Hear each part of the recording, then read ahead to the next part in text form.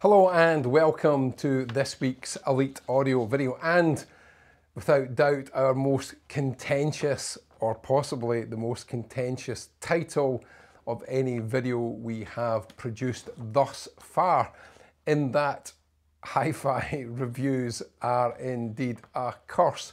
Now any hi-fi reviewer watching this may be currently uh, taking effigies of myself and putting pins in it uh, as retribution for making such a statement. But let me first of all state very clearly and to remove any doubt whatsoever, hi-fi reviews are an essential part of the hi-fi industry and for most people's audio journey. Um, there's some great reviewers out there. We work with many of them. You know, for example, Terry Ellis, Pursuit Perfect Systems. If you've watched any of Terry's reviews, you will notice a man that is very passionate about giving you an honest review. He's a man with integrity, and that is something that is essential when it comes to audio and hi-fi reviews. So, why have I made this very bold statement? Well, let me start by rewinding the clock here. I'm going to take you back to a few years ago when a gentleman came into our showroom who I'll call Ian. And Ian it was a retired, or is a retired school teacher, and he'd spent the best part of about £60,000 on a hi-fi system. And to use Ian's words at the time, it sounds, and I'd have to bleep the next part out, so that tells you what Ian thought. So we spent some time going through Ian's system, understanding all the components, and it transpired very quickly that what Ian had done is that he had essentially brought together and built a system based purely on reviews. So he bought each of his components or assembled them into his system from very different and separate sources in terms of his purchasing. Now, this is where I guess this comes back to the point about hi-fi reviews being a curse because what Ian had done and what he thought he was doing correctly was looking at a review for say an amplifier. That's a great amplifier. It gets top marks and therefore that's what I should buy. Now for manufacturers reviews are essential and these award logos that magazines and online resources apply or award these products for their review are an essential part or become a very essential part of that manufacturing's marketing strategy because when you look into a magazine and you see a nice shiny advert with a nice shiny piece of equipment, most of us do go by the review. You know, is there a review? What does it mean? You know, does that mean it's a good product? Because we assume if it's won a top award, this must be a great product. And to a certain extent, that part is true. But let me come back to Ian again. So Ian had assembled this system uh, without really asking too much advice from a, a one dealer, and he brought it together. And in Ian's words, it sounded terrible.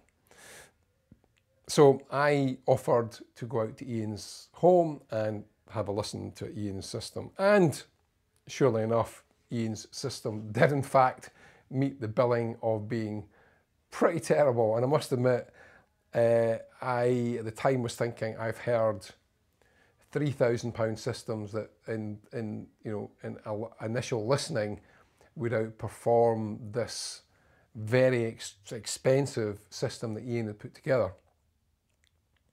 So this kind of uh, highlights one very important aspect, and that is whilst a review can give you a flavour of something, it doesn't necessarily mean that firstly, that you will like it. Secondly, that it will actually work with the other components you either already have or are in the process of buying. And let me give you another example. When we had our showroom event earlier this year where we had a blind shootout and there is a video uh, in our uh, database as you'll find if you go into our YouTube videos, you will find this video where we had, there was about 50 to 60 people in the showroom. We had streamers where we played the same audio track into the same amp and same speakers.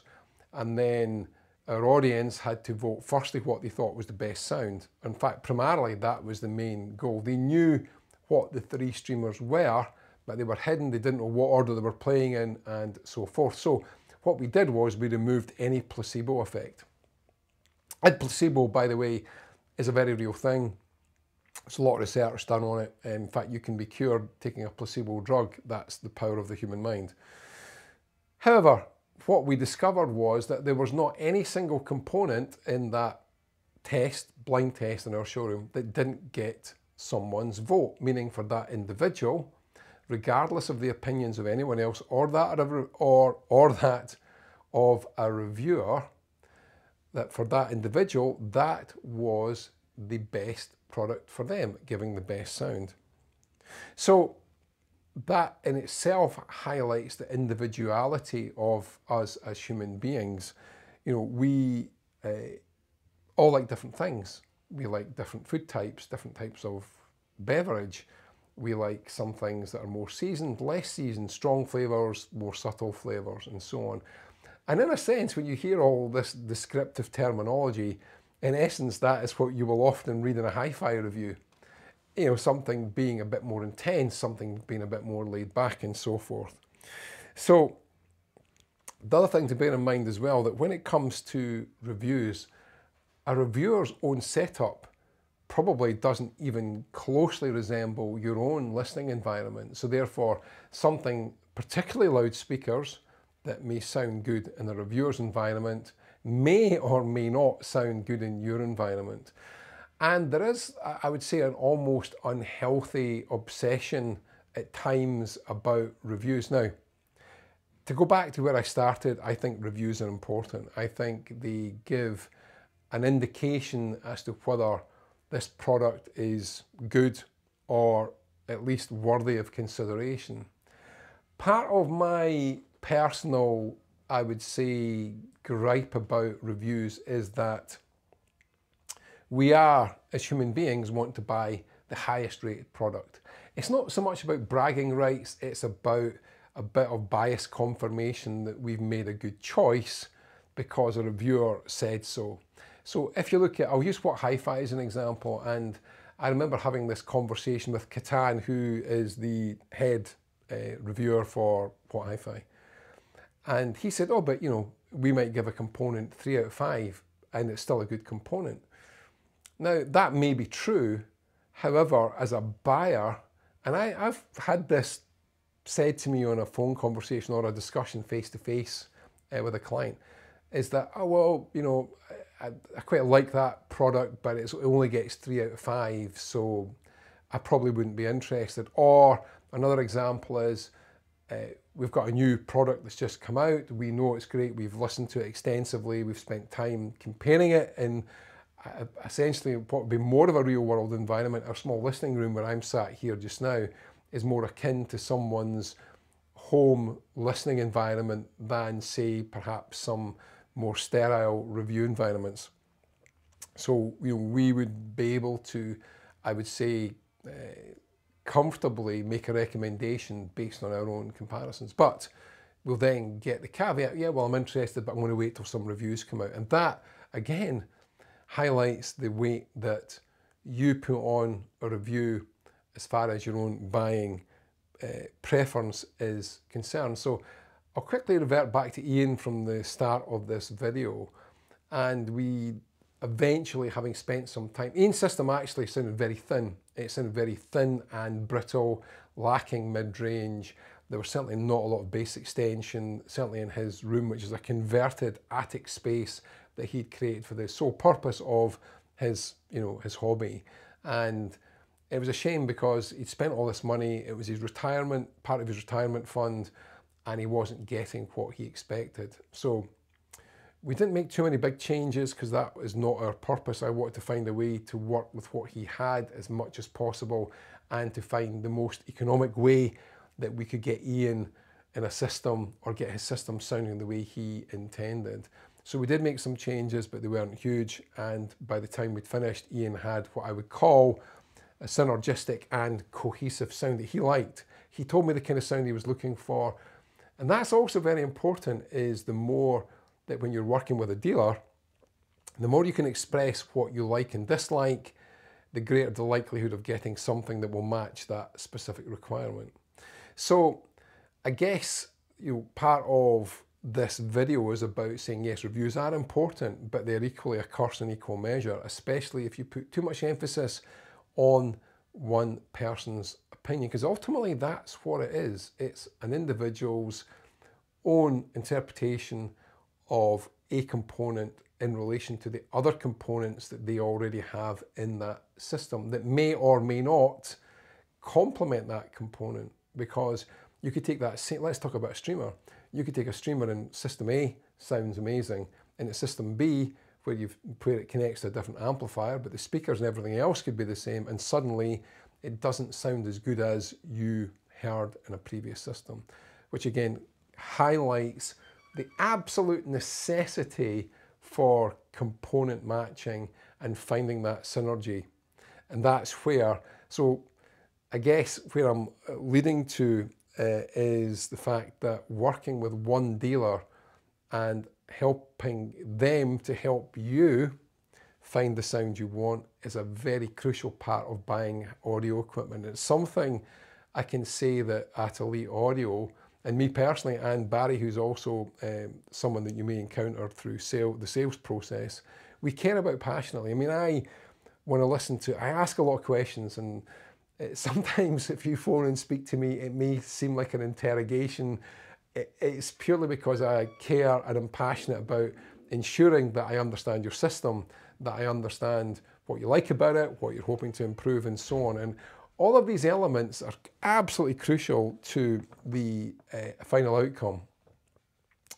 I guess also there's another element of chasing trends that people do, you know, the latest piece of hot equipment or hot gear that's just come out. Everybody wants to own that. But it's also more about the long-term satisfaction of your system. And that again is where spending time, and certainly us as a dealer, asking all the right questions will help you come to the right conclusions within obviously the framework of a budget because that's also equally important. And it's also equally important to not have a mismatch in your system in terms of pricing Again, we can help you navigate the intricacies and at times the complexities of putting together multiple pieces of equipment to bring you an amazing sound. The other thing, I guess, and I'm going to come back to uh, a, previous lifetime for me where I, uh, my previous uh, career, if you want to call it that, I worked as a professional photographer for many years. Um, and in fact, I then, at one point in that career, I was the head reviewer for Digital Photographer magazine. And it's something I thoroughly enjoy, testing camera equipment. But here's the rub from that. I remember writing a review on a brand whose name I won't mention. They're a, still a current uh, photographic manufacturer brand. They make cameras and lenses. And I had submitted the 2,000 words of my review on this particular camera. And I wouldn't say it was scathing, but it certainly wasn't the kind of review that the manufacturer would have wanted to read, being quite upfront about that. And I remember receiving a phone call from my editor and stating very clearly, would I consider either rewriting it uh, or increasing the percentage score that I'd given it because this manufacturer was a contributor in advertising revenue to the magazine. Now, I'm not naive to think that revenue stream is not important for magazines and or even online review resources. But for my own integrity and I guess that to ensure that what I write has got some value, I refused. I said, no, I said, if you don't want to publish it, that's absolutely fine, but that is the review and I won't change any part of it because it was uh, real, authentic, and it reflected precisely my experience of using that equipment. Now, I'm not suggesting that that goes on in the audio world because I don't know. I, I it would be hypothesizing. I personally not come across it uh, in this industry, but equally that aside, as individuals, we have got biases. You know, we have a bias for a particular brand or we have a bias for a particular sound because that suits our preference. And where reviewers review could perhaps be misleading for you as an individual, it may not reflect the sound that you like. And that's key because what I might find as detailed and dynamic, somebody else might find as maybe bright or um, unlistenable. I'm sure that's not the case, but I'm using that as an extreme example. Or, you know, someone's idea of visceral bass is someone else's idea of bass that is a bit, you know, there's too much overhang or it's a bit ploddy or, or the timing's not quite right.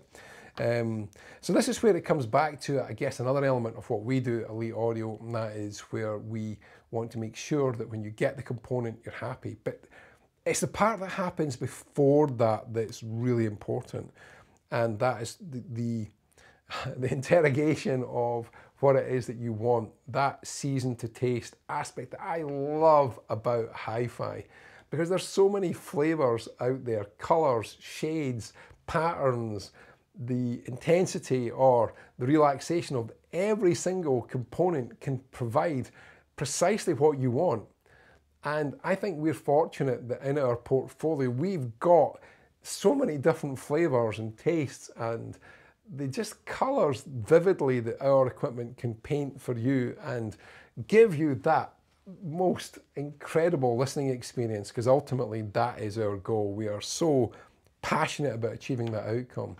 And that's why I thought that this week, this week's video should be around that whole process of understanding that there is, you know, a, a danger in putting too much emphasis on a review.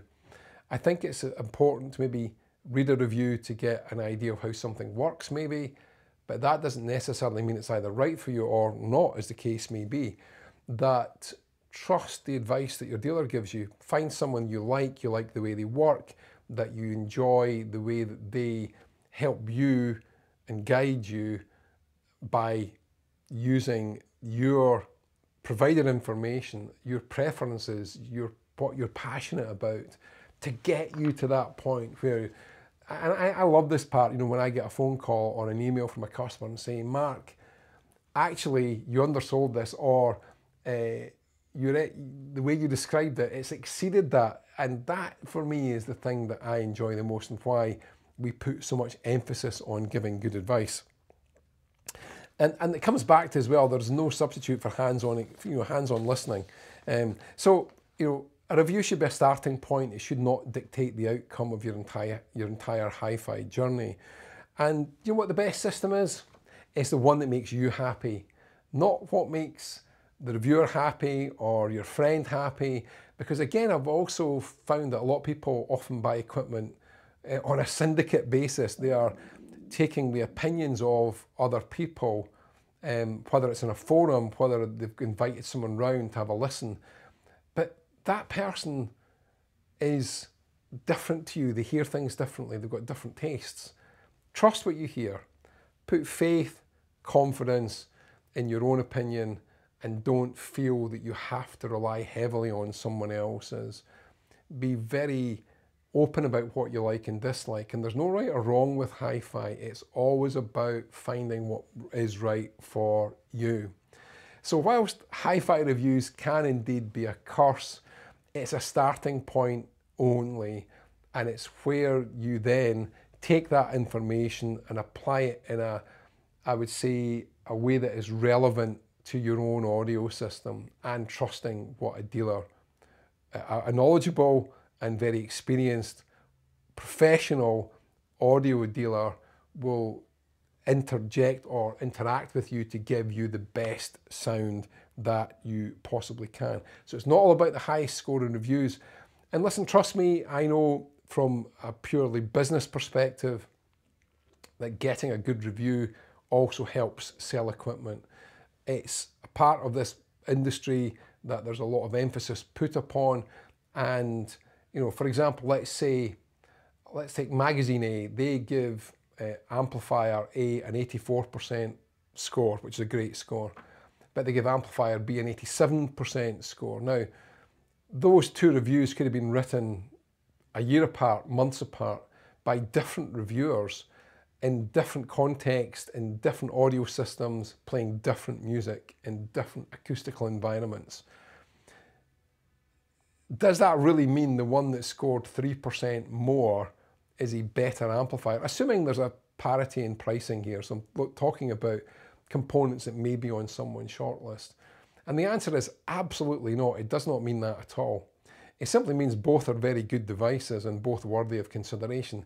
But the most important part of all, and I'm going to bring this to a conclusion now, is it's only good when you like the sound. And that's where your personal taste is the key aspect of this journey of hi-fi and finding that elusive audio nirvana we all strive to have. So there we go. Um, hi-fi reviews are a curse they're not really. They're simply a means by which we often hang our hat on something we want to buy and we read reviews to confirm we're making the right choice. But more importantly, speak to someone that's knowledgeable, put your trust in them, build a rapport with that person and allow them to guide you because they're the professional, they've got all the experience. And if they listen properly to what you're saying, they will 100% give you the outcome that you're looking for. So there we go. This week's video, thank you very much as always. And if you are enjoying this video or enjoyed it, if you've enjoyed any of our other videos, please just take a few seconds to like and subscribe to our YouTube channel. It means a lot to us here at Elite Audio. We're a small business, as you know. We've got a team of very passionate individuals that care greatly about your opinion. So if you're liking what we're doing, please, it would mean a great deal. Just take a few seconds to like and subscribe. Um, we've got some great things coming in the coming weeks. We've got the brand new Hi-Fi Rose um, DAC, the RD160, which is, I was hoping I was going to have it for this video, and if we'd had it here, this video would have been very different. It would have been a, a, an unboxing video. Um, we've also got the review of the review. There's me saying we've got a review coming. You need to watch it because it's important. Um, having just yeah, you know, as I said, reviews are important. We, have got a, the, the Luxman DA07X uh, review that's to come too, um, and lots more. We've got the Scottish Hi-Fi show next month. Again, I will bring all the details up on screen. Please get your tickets booked. We will be there. Uh, with a huge display of audio equipment, we're going to have three very distinct systems set up there. I'll be there personally all weekend. Uh, please come along, introduce yourself. I'd love to meet you. I want to hear about your audio system and your own journey, where you started, where you've ended up. It's a fascinating journey most people undertake, and I'm never tired of hearing each individual's uh, route to where they are today. So uh, get your tickets booked, and we'd love to see you there in November. And as always, please have a great week listening to music. It is the best way to unwind, feel connected, and just enjoying the fabulous way that we as human beings experience life through the medium of music and audio equipment. Thank you for watching, and I look forward to seeing you again very soon.